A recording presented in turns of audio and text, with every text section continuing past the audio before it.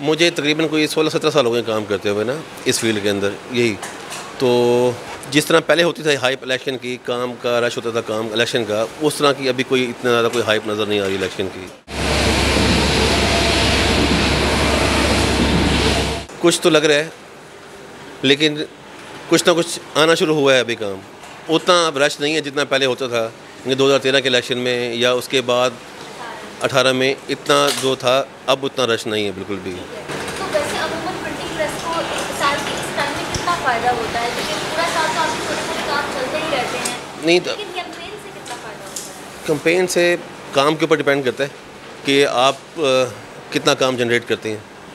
उसके ऊपर ही है। हम तो सबका काम कर रहे हैं। हम तो ये भी आपके सामने पीपल्स पार्टी का काम चल रहा है। पीटीआई का काम इतना नहीं है मेरे ख्याल में। नून लीग का काम चल रहा है। आज़ाद उम्मीदवारों का काम चल रहा है। जो भी आ रहे हैं प्रिंट करवा रहे हैं अपना अपना